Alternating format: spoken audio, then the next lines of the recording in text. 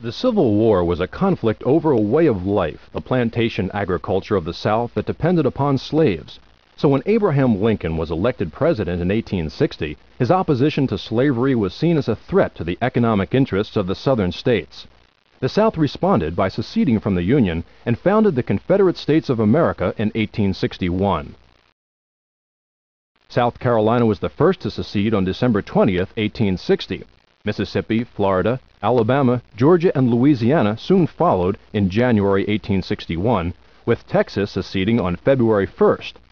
Three days later, delegates from these states drafted the Constitution of the Confederacy. Jefferson Davis, former Secretary of War and Senator from Mississippi, was inaugurated as President on February 18th before Lincoln himself would be officially inaugurated.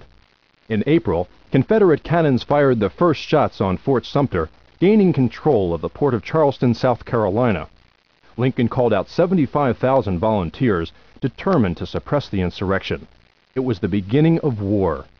Virginia, North Carolina, Tennessee, and Arkansas seceded in the spring. The Confederacy had 11 states, the Union 23. The South had a population of 9 million, 3 million of them slaves, against 22 million in the North. Lincoln moved to keep the border states Missouri, Kentucky, Maryland, and Delaware loyal to the Union. West Virginia split from Virginia and became a state in 1863. To cut off supplies, Lincoln ordered a naval blockade of over 180 harbors of the Confederacy. In June, Confederates were pushed out of the Union strongholds in the North. On July 21st, the two sides met in the first major engagement of the war, the Battle of Bull Run, which ended in a Confederate victory. Confederate General Stonewall Jackson became a hero, and confidence in the South soared. To the west, in February 1862, the Union had better luck when Union General Ulysses S. Grant took Forts Henry and Donelson, driving the Confederates from Kentucky and central Tennessee. As Grant advanced south, Confederate General A.S. Johnston concentrated his forces for a surprise attack at Shiloh Church.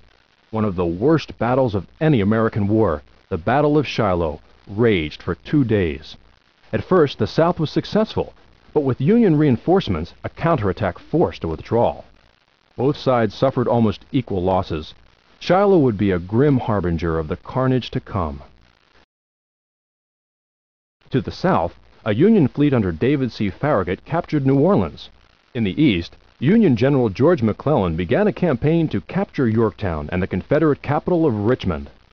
McClellan advanced cautiously with an army of 100,000.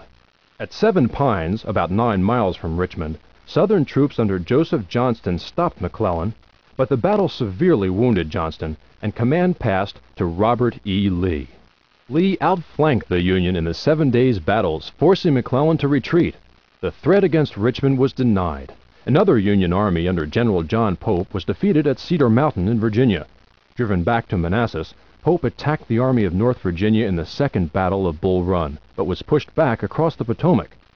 General Robert E. Lee had driven the Union out of Virginia. He seized the opportunity to launch a daring double offensive.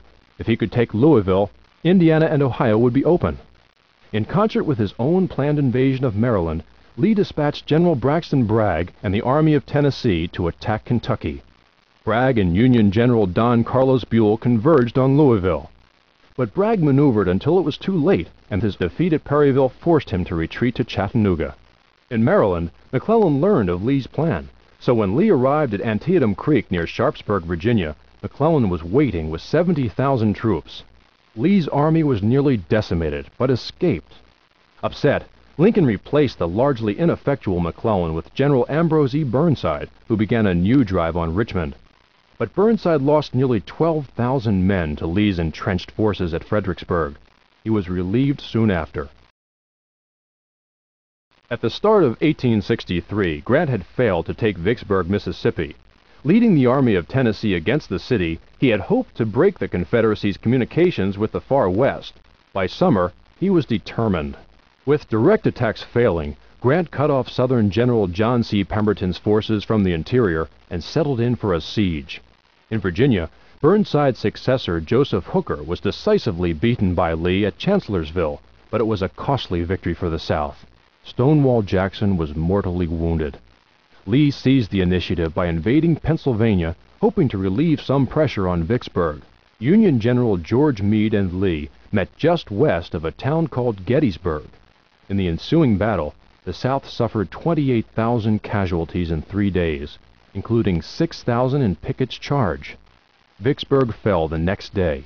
In central Tennessee, Union troops forced Bragg out of Chattanooga and into northern Georgia, but Bragg caught exposed Union forces and defeated them at Chickamauga. A month later, under new command, Union forces dislodged Bragg from Lookout Mountain and Missionary Ridge. In March of 1864, Grant was appointed General in Chief of all Union armies. He launched a new drive on Richmond, but he and Meade suffered heavy losses in the Wilderness Campaign of May and June. At Cold Harbor, Grant made a mistake that cost the Union more than 6,000 casualties in less than an hour.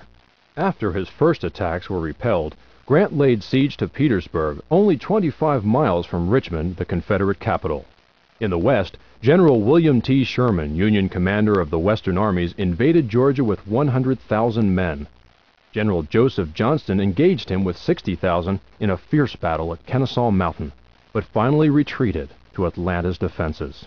Johnston was replaced by General John Hood, a gallant but reckless officer who was soon forced to abandon Atlanta to Sherman in September. Hood then invaded Tennessee, hoping to divert Sherman north. Though Hood won a costly battle at Franklin, Sherman ignored him and marched through Georgia virtually unopposed, cutting a swath of destruction to the sea. Hood's army was finally wrecked at Nashville, while Sherman occupied Savannah on December 21st. With the beginning of 1865, the Union tide was overwhelming. Confederate lines around Petersburg were finally broken at the end of March. Lee evacuated Richmond, hoping to link with Johnston's forces in North Carolina, but he was surrounded at Appomattox and surrendered to Grant on April 9th. Johnston surrendered to Sherman April 26th. President Lincoln was assassinated on April 14, 1865, 12 days before the final surrender of the Confederacy. The Civil War had the legacy of a truly modern war. Over 600,000 dead, over a million American casualties for a cause that to